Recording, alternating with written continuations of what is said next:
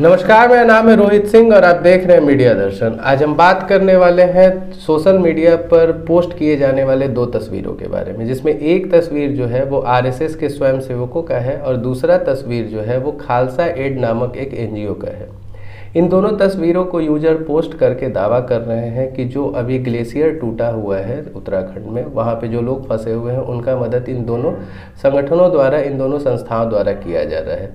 जो तस्वीरें पोस्ट की जा रही है इस पर इन दोनों चीज़ों के समर्थन में, दोनों संस्थाओं के समर्थन में जब इसका पड़ताल किया गया तो कुछ और ही चीज़ सामने निकल कर आई। आप जब ट्विटर पे देखेंगे सोशल मीडिया पर तो उस पर कुछ तस्वीर जो है शेयर किया गया है आरपी सिंह, जो भाजपा के राष्ट्रीय प्रवक्ता हैं, उनके द्वारा।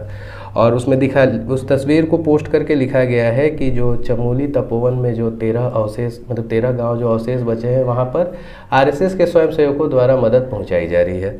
ऐसा ही एक पोस्ट परेश रावल द्वारा भी शेयर किया गया। लेकिन जब इसकी पड़ताल की गई तो ये पाया गया कि ये जो तस्वीर है, वो आठ साल पुरानी है। यानी 2013 में एक वेबसाइट पर यह तस्वीर 2013 के डेट में मिली, यानी लगभग आठ वर्ष पुरानी।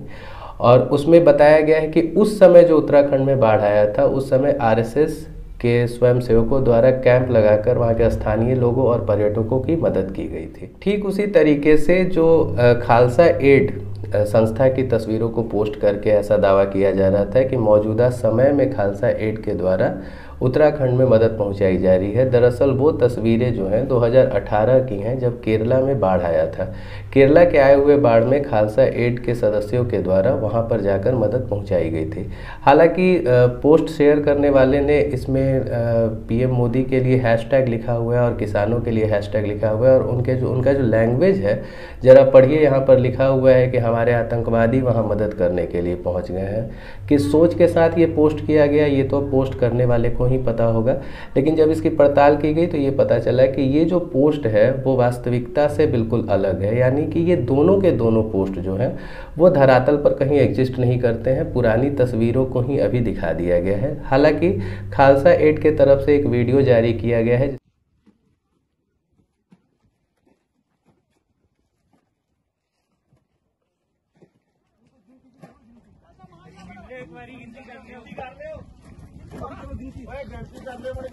जिसमें दिखाया गया है कि वो लोग अब उत्तराखंड में मदद के लिए पहुँच चुके हैं। ऐसे ही खबरों के लिए बने रहिए मीडिया दर्शन के साथ। धन्यवाद।